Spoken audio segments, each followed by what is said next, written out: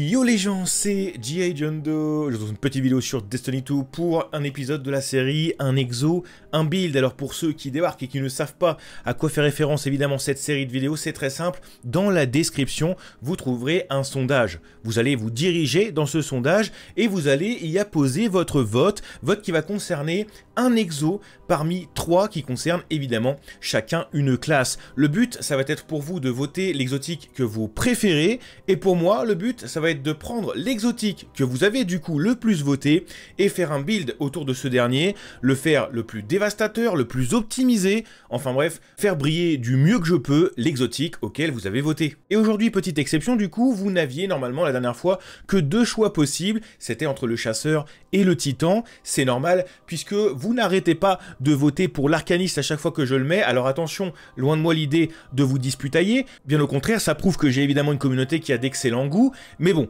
je ne pouvais pas non plus faire 15 vidéos arcanistes d'affilée, sinon j'allais me faire tomber sur le rable par le titan et le chasseur, et bordel qu'ils sont nombreux. Donc je préfère quand même prendre mes sécurités, et aujourd'hui on va parler évidemment d'un build de chasseur. Donc je vous avais proposé que deux choix, c'était entre le chasseur du coup et le titan, et ce sera les mains de Caliban aujourd'hui qui auront eu leur victoire et qui du coup seront les exotiques que je dois placer au centre d'un build que je dois faire dévastateur, briller, optimiser. Vous connaissez la musique. Donc pour le prochain sondage, on repart à plat, j'en remets les trois persos, à vous de voter. Désolé messieurs dames titans, mais pas d'inquiétude, si vous n'êtes pas voté au prochain, je vous prépare un petit truc quand même, ne vous inquiétez pas. Puisque d'ici la fin de la saison, j'ai deux builds à vous sortir qui pour le coup seront de ma création, que je dois absolument vous faire avant la prochaine saison parce qu'ils risquent de vous être très fortement utiles, donc on verra tout ça en temps et en heure, pas d'inquiétude. En tout cas pour aujourd'hui, on va se diriger in-game indirectement et on va voir ensemble ce que font les mains de Caliban l'exotique pour lequel vous avez voté. Alors, votre couteau de proximité inflige des blessures solaires aux cibles touchées par ces explosions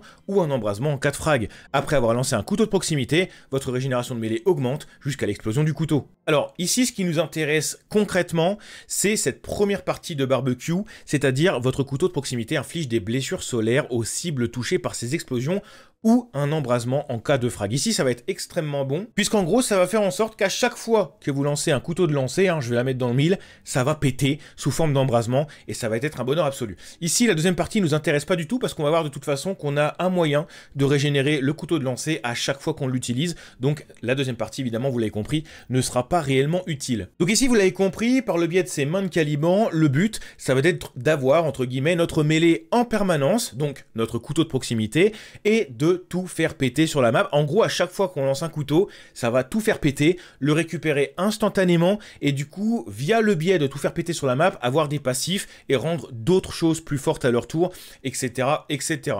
Donc ici, votre question, c'est est-ce que ça fonctionne en endgame? Alors, j'ai testé le build dans beaucoup de situations. Donc en early, évidemment, ça fonctionne excessivement bien. Hein. c'est là où ça fonctionne le mieux, évidemment, comme tout build. Si vous jouez des activités un peu plus coriaces, comme par exemple des activités de saison, où les mobs vont vous mettre plus cher, où les mobs vont prendre plus de dégâts pour mourir, etc. Là encore une fois, ça fonctionne excessivement bien. C'est même, je trouve, l'endroit où ça fonctionne le mieux. Par contre, si vous commencez à jouer dans les difficultés légende, maîtrise et grand maître, alors là c'est n'importe quoi, ça va absolument pas fonctionner, je vous le dis tout de suite. Euh, en légende, ça peut passer. En maîtrise, ça passe déjà plus. Et en GM, on n'en parle même pas. Mais en gros, le fait est que avec ce build, le but, ça va être quand même de one-shot, entre guillemets, au moins une cible à chaque fois avec votre couteau de lancer. Et déjà en légende, ça n'est plus le cas. Il va falloir déjà commencer à mettre des balles avant pour que ça marche. Donc vous l'avez compris, un build qui ne va pas fonctionner en endgame, hein, mais un build qui va quand même être très très très fun à utiliser en early, et notamment si vous faites des activités saisonnières ou des contrats, ce genre de choses, ou même si vous cherchez tout simplement à vous amuser, parce que oui, c'est un petit peu le but primaire d'un jeu vidéo. Voilà, donc ici, ça va être dans ce genre de cas, donc évidemment, ne vous attelez pas à ce genre de build, si vous cherchez un truc endgame, je vous mets en description en fiche des trucs qui seront bien plus efficaces dans ce genre de domaine. Ici, ça va être juste pour du fun pur et brutal. Voilà, allez, on se dirige directement dans l'artefact. Hein. On va commencer par l'artefact avant euh, de parler de la doctrine deux raisons. Pour la première, qui est que si vous faites des choix dans l'artefact comme les miens, ça va se répercuter dans la doctrine du coup et c'est plus intéressant de vous les introduire avant. Mais pour la deuxième raison, c'est que je vous présente l'artefact avant pour vous dire, voilà, si vous choisissez ça, ça fonctionne, mais pas de panique. Si vous voyez cette vidéo et que l'artefact n'est plus le même, a changé, etc., etc., pas de panique, je ne prends rien en compte dans l'artefact qui soit vraiment game changer dans le build. C'est juste un bonus, mais un bonus, ne vous inquiétez pas, auquel je vais vous montrer une alternative où vous n'avez pas besoin du tout d'artefact pour le faire fonctionner et ça fonctionnera tout aussi bien. Ne vous inquiétez pas. C'est juste que, voilà, il y a l'artefact, donc on en profite un petit peu, mais quand il sera parti, ce build fonctionnera toujours puisqu'il n'y a absolument rien du tout qui repose sur cet artefact. C'est juste une variante, en gros, vous allez voir. Mais c'est quand même intéressant de vous le mentionner parce que bon, on est quand même dans la saison en question donc c'est plutôt intéressant de le faire. Ici au niveau de l'artefact, ce qui reste quand même le plus intéressant, c'est comme d'habitude, mode autorisé solaire, abyss et grenade, hein, qu'on met sur absolument tous les builds, parce que c'est des modes qu'on utilise très souvent euh, sur nos armures, et en utilisant du coup ce genre d'attributs, eh bien ça va coûter bien moins cher, et du coup ça fait plaisir. Ici ce qui va être très intéressant d'utiliser également, c'est le surcharge solaire. Donc il fait que récupérer un feu follet va tout simplement vous octroyer une recharge d'armure, et ça, ça fait très plaisir. Et les deux autres modes qu'on est venu choisir du coup, c'est haute décharge et pluie de décharge, qui va tout simplement nous gonfler ce que font les grenades à décharge. Hein. Donc dans un premier temps, les grenades à décharge infligent plus de blessures solaires cumulées, et infliger des dégâts avec une grenade à décharge fait apparaître un feu follet près du combattant. Donc ne vous inquiétez pas, ça on pourra s'en passer, hein. on fera des feux follets d'une autre manière, ne vous inquiétez pas, donc il n'y a absolument aucun problème. Et pareil pour les feux follets qui donnent des charges d'armure, ne vous inquiétez pas, puisque les orbes donnent des charges d'armure également, et vous en foutrez pas donc encore une fois, c'est des bonus, mais ce n'est pas réellement drastiquement utile si l'artefact vient à changer. Et ici, plus de décharge qui vous octroiera une deuxième grenade à décharge. Allez, on se dirige directement dans la doctrine et on va voir un petit peu tout ça ensemble. Évidemment, au niveau du super, on va choisir le déluge de l'âme. Donc si vous cherchez ce qui fait le plus de dégâts en PvE, c'est évidemment le déluge de l'âme, hein, directement. Ici, si vous cherchez du clean dévastateur, du très gros DPS, hein, même si vous voulez utiliser ça directement DPS sur un boss ou ce genre de choses, directement c'est le déluge de l'âme. En plus qu'on va venir augmenter en DPS avec un des aspects. Donc je vous le dis tout de suite, Déluge de l'âme ici sera le plus intéressant, mais encore une fois, ça change rien, c'est vous qui voyez, à vous de voir comment vous faites votre popote. Ici au niveau de l'esquive, évidemment, on va parler de celle du parieur, qui est en gros un truc de sécurité. Si vous venez à perdre votre couteau de lancer, vous le récupérez directement grâce à l'esquive du parieur. Donc ici, ça va être beaucoup plus intéressant de jouer ce genre d'alternative, surtout sur un build où on vient centrer la mêlée, évidemment. Ici, au niveau du saut, c'est vous qui voyez. Au niveau de la mêlée, évidemment, le couteau explosif de proximité, puisque c'est ça que vient viser euh, la main de Caliban. Ici, au niveau des grenades, du coup, c'est à cet endroit-là que ça va changer en fonction euh, du moment où vous regardez cette vidéo. Évidemment, si vous avez fait les mêmes choix que moi dans l'artefact, jouez les grenades à décharge qui vont être très intéressants parce que ça va vous octroyer un support en termes de blessures solaires non négligeables au cas où votre couteau de lancer ne viendrait à pas tuer directement et ne pas embraser la cible du coup instantanément. Donc si la cible ne meurt pas instantanément, du coup vous rajoutez une grenade de décharge derrière et là il y aura embrasement. D'accord? Donc c'est assez intéressant de jouer les grenades de décharge en tout cas cette saison. Évidemment, quand il n'y aura plus l'artefact, les grenades de décharge redeviendront entre guillemets poubelles, hein, des trucs qui sont vraiment pas fous, c'est entre guillemets les plus mauvaises grenades euh, dont dispose la doctrine solaire. Donc ici, encore une fois, hein, c'est à vous de voir, il y a de très bonnes grenades, la grenade solaire est très bonne en clean, vous avez évidemment la grenade de soin si là vous cherchez juste à vous heal, parce que la grenade en tant que telle ne servira pas à grand chose dans ce build, donc ça peut être utile de jouer ce genre de choses, mais vous allez voir que dans le choix des fragments, on aura de très bons choix euh, qui vont évidemment nous régénérer, vous avez évidemment la grenade à fusion, mais bon, qui n'est pas trop à privilégier en tout cas sur le chasseur, parce que je trouve qu'elle n'est pas vraiment très bonne. Vous avez également la grenade thermite, qui est toujours un très bon choix, quel que soit le perso avec lequel vous jouez, peut-être évidemment pas avec l'arcaniste parce qu'il y a de meilleures options, et évidemment la grenade laser. En tout cas, vous avez un sacré panel d'options, à vous de voir, mais en tout cas dans ce build, ça ne sera pas game changer, la grenade n'est pas un pilier du build, donc à ce moment-là, c'est vous qui voyez, et faites en tout cas le meilleur choix en fonction évidemment de votre façon de jouer, de votre utilisation du build, etc. etc. Au niveau des aspects, ici dans un premier temps, on va choisir absolument assommer-les puisqu'il est pilier de build, on ne peut pas s'en passer. Donc dans un premier temps, vos super solaires sont améliorés. Donc ce qui nous intéresse réellement ici, c'est évidemment le déluge de l'âme qui lancera plus de projectiles et donc évidemment fera plus de dégâts, donc aura un DPS amélioré. Mais ce qui nous intéresse réellement ici, c'est lorsque Radiance est activé, les frags par couteau de lancer équipé vous rendent toute votre énergie de mêlée. En gros, le but, vous l'avez compris, c'est qu'en le conjuguant avec ce premier fragment, ils ont torche, qui fait que vos attaques de mêlée chargées de puissance octroient Radiance à vous et à vos alliés proches, vous ne perdiez jamais votre couteau de lancer. En gros, vous mettez un couteau de lancer, à partir du moment où il tue vous avez Radiance, et à partir du moment où vous avez Radiance, eh bien ça vous redonne votre couteau instantanément. Ce qui veut dire en gros que vous ne le perdez jamais. Donc ici c'est pilier de build, hein. si vous n'avez pas cet aspect et ce fragment, ça ne fonctionne pas. Déjà juste vous mettez ces le truc là avec les mains de Caliban, et déjà vous passerez un excellent moment. Tout le reste, ça va être embellir le build en lui-même, mais en gros, il faut absolument ces deux choses-là, sinon tout le build tombe à l'eau. Donc évidemment, vous avez compris, c'est extrêmement important. Ici qu'on va conjuguer avec Avomark, donc Avomark fait que les frags de précision augmentent le maniement d'armes et la vitesse de rechargement pour vous et vos alliés proches pendant une courte durée, se cumule trois fois, et l'activation immédiate de votre compétence de classe confère le maximum d'unités pour Avomark. Euh, la compétence de classe, vous allez l'utiliser en tout cas assez régulièrement si vous perdez votre couteau de temps en temps, donc ça peut être très intéressant pour avoir un aspect passif sur vos armes qui vous rend plus fort. Ici, ce qui est réellement intéressant avec Avomar, je vais pas vous mentir, c'est le fait qu'on ait trois emplacements de fragments. À part ça, on s'en fout, puisque jouer avec la poudre serait limite plus intéressant, mais à ce moment-là, si vous voulez jouer cet aspect, je vous conseille de jouer les bras d'Amkara, je vous mets directement le lien en fiche en description, j'ai fait le build directement dessus, qui sera beaucoup plus intéressant de jouer de cette manière, mais ça peut fonctionner indirectement, ça, il n'y a aucun problème. Ici, Avomar est plus intéressant parce qu'il vous octroie plus d'emplacements de fragments et vous allez voir qu'il y a des choses assez intéressantes à faire justement de ce point de vue-là. Chose qu'on va voir directement ensemble. Donc premier fragment, vous l'avez compris, tison de torche, ça on n'y revient pas. Ici, deuxième chose, tison incalciné, vaincre des cibles souffrant de blessures solaires, octroi de l'énergie de mêlée et créer un feu follet. Donc ici, on s'en fout que ça nous donne de l'énergie de mêlée, vous l'avez bien compris. Par contre, ce qui est intéressant, c'est le feu follet. Parce que du coup, normalement, les feux follets, on les crée avec l'artefact, mais vous l'avez compris, si vous n'êtes plus justement eh bien, sous le joug de l'artefact parce que vous n'êtes pas pendant la saison pendant laquelle j'ai tout simplement fait le build, et eh bien ici, c'est l'option qui va vous faire créer des feux follets, tout simplement. Donc ici, des blessures solaires, vous allez en foutre à absolument toutes les cibles que vous attaquez. Ce qui veut dire que des feux follets, vous allez en foutre partout sur la map. C'est pas plus compliqué que ça. Donc à partir de là, ça va être notre point de départ pour faire d'autres choses avec d'autres fragments. Et en plus, vous l'avez compris, vous avez plus de récupération. Donc ça, ça fait plaisir. Deuxième chose, quand vous réanimez un allié, vous et les autres alliés proches obtenez restauration. Ramassez un feu follet, octroi restauration. Vous l'avez compris, on fait un feu follet avec des blessures solaires. Maintenant, on ramasse ce feu follet, on a restauration et en plus de ça on a plus 10 de résistance, ce qui est très très bien. Attention disclaimer, le restauration que vous octroie un feu follet de base est seulement de 2 secondes, d'accord? Donc c'est absolument de la merde. Vous allez l'augmenter à 3 secondes du coup, avec les effets de radiance et de restauration qui s'appliquent à vous, ont une durée rallongée, et en plus de ça, les effets de radiance que vous allez avoir avec votre mêlée vont maintenant être augmentés à 12 secondes au total, ce qui est extrêmement bon. Par contre, vous l'avez compris, quand vous ramassez un feu follet, c'est 3 secondes seulement de restauration. Comment allonger ce temps? C'est très simple, vous allez choisir Tison Empyréen, qui fait que les frags alarmes ou la compétence solaire allongent la durée des effets de restauration et de radiance qui s'appliquent à vous. De cette manière, vous ne perdrez normalement jamais radiance, et en plus, avec restauration, même si vous avez 3 secondes par le biais d'un feu follet, si vous faites un kill directement juste derrière avec une compétence, donc vous l'avez compris, votre mêlée, entre guillemets, ou une grenade, ou une arme solaire, eh bien vous allez rallonger les effets de restauration, et ce jusqu'à 12 secondes eux aussi. Donc ici c'est très intéressant parce que du coup vous allez avoir le point de départ au feu follet, si vous enchaînez directement derrière avec un kill, avec une compétence ou justement votre arme solaire, eh bien vous allez allonger ce temps de restauration à 12 secondes, et ne jamais le perdre si vous continuez à faire des kills.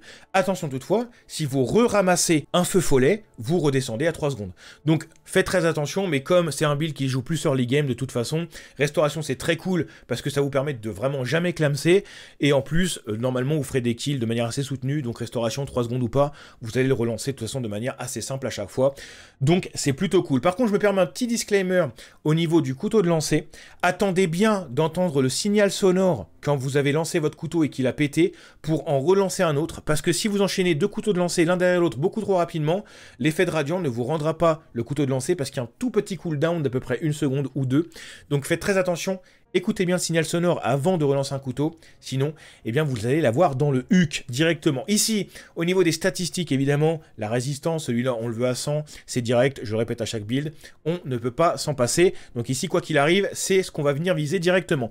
Deuxième point, la discipline ici qui va être extrêmement intéressante. Et troisième point, évidemment, la récupération. C'est comme d'habitude, c'est le triple son traditionnel. Vous pouvez aussi jouer de la mobilité, hein. on est chasseur, on peut tout à fait le faire, puisque ça va augmenter la vitesse de récupération de notre dodge. Donc Donc ici, on peut totalement le faire en fonction évidemment de vos goûts. Et l'intelligence et la force ici seront complètement inutiles, puisque la force, vous l'avez compris, on s'en fout, on notre mêlée tout le temps. Et l'intelligence, on a des biais pour récupérer le super plus vite, euh, qui sont bien plus efficaces qu'une simple stat d'intelligence. Donc ici, ce qui serait euh, toutefois très intéressant, c'est de viser les trois stats hautes, mais vu que c'est complètement impossible, puisque c'est les trois stats hautes du coup, et eh bien là, le plus intéressant, c'est le triple sang traditionnel. Hein. Résistance dans un premier temps, vous avez la récup, qui va être très cool aussi, parce que ça va influer directement sur votre vitesse de restauration, donc c'est intéressant de le jouer. Et discipline, si vous jouez beaucoup votre grenade. Si la grenade, vous en avez rien à carrer, va essayer de viser les trois statistiques hautes, mais je vous cache pas que c'est assez compliqué de le faire. Donc à ce moment-là, vous êtes prévenu, mais à vous de faire votre popote, vos statistiques, etc. De toute façon, c'est pas réellement un build endgame. Donc de toute façon, là, vous pouvez juste vous faire plaisir. Le but avec ce build, c'est vraiment de s'amuser, hein. rien d'autre. Donc c'est ce qu'on va faire en fonction évidemment de ses propres goûts. Ici, au niveau des modes, évidemment, on va choisir manuel qu'on va venir doubler on fait des kills qu'avec la mêlée, évidemment, donc on va essayer de récupérer plus vite notre super par le biais de cette dernière, et justement avec manuel, c'est ce qui va se faire le plus efficacement, même si Cendre Utile régénère le super beaucoup plus vite qu'un manuel, évidemment, vu que vous allez utiliser tout le temps votre couteau, ça sera quand même plus utile de jouer un manuel, qu'on va venir conjuguer avec un siphon harmonieux qui va faire que tous les doubles kills, justement avec les armes solaires, eh bien vous allez créer une orbe de puissance, et ça c'est plutôt cool, parce que je vous rappelle que les armes solaires, vous allez les utiliser également, donc c'est plutôt intéressant de jouer un siphon harmonieux qui va être plutôt utile dans ce genre d'exercice pour avoir un soutien notamment au niveau des charges d'armure. Justement, en parlant des armes solaires. Évidemment, ici, je vous cite l'outil polyvalent Calus, qui est absolument incroyable, etc., etc., mais on ne peut plus l'obtenir. Donc évidemment, si vous ne l'avez pas, vous l'avez dans le cululu. Mais en tout cas, vous pouvez jouer n'importe quelle arme solaire, il n'y a absolument aucun problème, en fonction de vos goûts, etc., etc. Il y en a un sacré paquet, hein, si vous voulez quelques alternatives. En revolver, vous avez le Fléau de Zaoli euh, dans le Red Dorix, qui est absolument incroyable. Vous avez le Amita R2, qui est un World Loot, et qui est pas mal du tout aussi dans une option automatique. Et si vous voulez absolument une mitraillette solaire, et qui s'obtient avec un focus assez particulier, ce sera celle du Gambit, qui peut être pas mal du tout. Elle n'a pas les stats comme l'outil polyvalent Calus qui font que bah, c'est une arme exceptionnelle et ça va très mal se conjuguer. C'est pour ça que je vous recommande plus euh, de jouer par exemple des Fléaux de Zaoli ou des Amita R2 avec incandescent si vous n'avez pas l'outil polyvalent Calus, parce qu'ici ce qui va réellement nous intéresser c'est ça, hein. c'est un incandescent qui va très très bien se cumuler justement avec le build et qui va justement prendre en considération toutes les modifications que vous avez apportées à votre doctrine. Donc ici évidemment, si vous avez l'outil polyvalent Calus, c'est la meilleure arme à jouer ça, on n'en discutera pas plus parce que c'est quand même quelque chose qui est assez récurrent depuis maintenant, eh bien le fait que ça existe. Allez, on enchaîne directement avec les modes qu'on va mettre sur nos bras. Donc ici, main lourde, qui va faire qu'on va faire des orbes directement à chaque fois qu'on met un kill à la mêlée. Vous l'avez compris, on va faire que ça, des orbes, on va en foutre partout, ça fait plaisir. Et là, on va récupérer plus vite, respectivement, notre capacité de classe et notre grenade à chaque fois qu'on met des hits avec notre mêlée. On va faire que ça. Donc ici, c'est des très bons soutiens pour récupérer plus vite, notamment notre dodge qui peut être très utile. Donc, soit vous jouez de cette manière que je trouve assez cool, parce que là, le but, c'est de tout récupérer plus rapidement et ça fait plaisir. Soit vous doublez frappe concentrée, puisque vous estimez que votre grenade, rien à carrer. Par contre, le dodge, lui, est assez intéressant, donc on peut doubler ce genre de choses. Moi, pour ma part, j'ai préféré tout viser parce que c'est plus cool et de toute façon c'est un build early. Donc le but c'est quand même de se faire plaisir. Ici au niveau du torse, comme d'habitude, hein, généralement au niveau du torse, on a toujours une configuration qui vient rarement beaucoup bouger. Ici dans un premier temps, recharger, il va tout simplement faire monter le nombre de charges d'armure maximale de 3 à 4. Ici c'est plutôt cool du coup, parce qu'on va venir le combiner avec ce mode sur les bottes, unité par unité, qui fait qu'à chaque fois qu'on va ramasser du coup une orbe ou un feu follet, on aura non plus une, mais deux charges d'armure. Donc vous avez compris, vous ramassez deux orbes, vous avez directement votre stack maximal de charge d'armure. On va monter du coup à 4.